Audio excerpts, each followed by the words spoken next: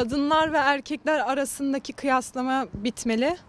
Ben de bunun bir örneği olduğum için çok mutluyum. Kadınlar her geçen gün iş hayatına daha fazla katılsalar da bazı sektörlerde hala erkek çalışanların sayısı oldukça yüksek.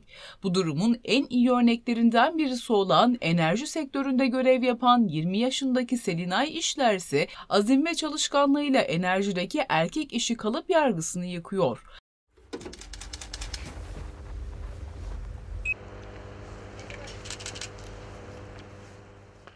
Sakarya Elektrik Dağıtım AŞ'de sayaç okuma görevlisi olarak işe başlayan işler, sorumlu olduğu bölgeyi yağmur çamur demeden karış karış adımlıyor.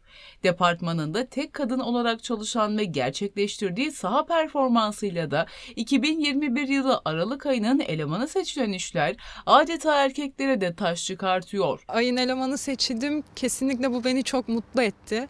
Yani günde 1400 e, sayaca ulaşmak benim için ayrı bir mutluluktu. 1400 aileye ulaşmak ayrı bir mutluluktu.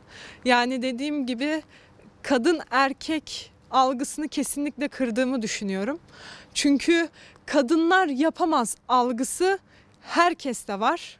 Ama 1400 aboneye attıktan sonra herkesin algıları değişti. Ve kesinlikle daha da çok başarı katacağımı düşünüyorum.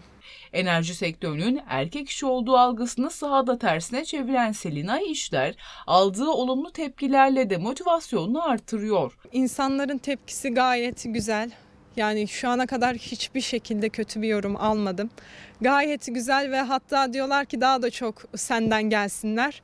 Sedaş çok güzel bir iş yaptı. Keşke her kapıda senin gibi insanlarla karşılaşan bir şey olsa, çalışan olsa. Yani kesinlikle ve kesinlikle herkes kadın görmek istiyor erkeklerden daha çok. Hızlı ve pratikliliğiyle görenlerin takdirini toplayan işler mesleğinde başarıya giden yolu anlattı. Anneme şeyim var. Borçluluğum, minnettarım ona. Çünkü ben hiçbir şekilde Fatih mesleğe gitmek istemiyordum. Hani annem dedi ki gideceksin. Anne dedim ben orada çok erkek var yapamam. En sonunda oraya tutundum ve okulu da birincilikle bitirdim. Göreve başladığı günden bu yana işini sadece erkeklerin yapabileceği düşünenlerin yanıltmak için gayret gösterdiğini belirten işler, kadınların yapamayacağı hiçbir işin olmadığını vurguladı. Hiçbir zorluğu yok aslında. Yani erkek yap- yapabiliyorsa kadın da yapabilir. Bir tek zorluğu köpek yani o erkekler için de zor bir durum bence.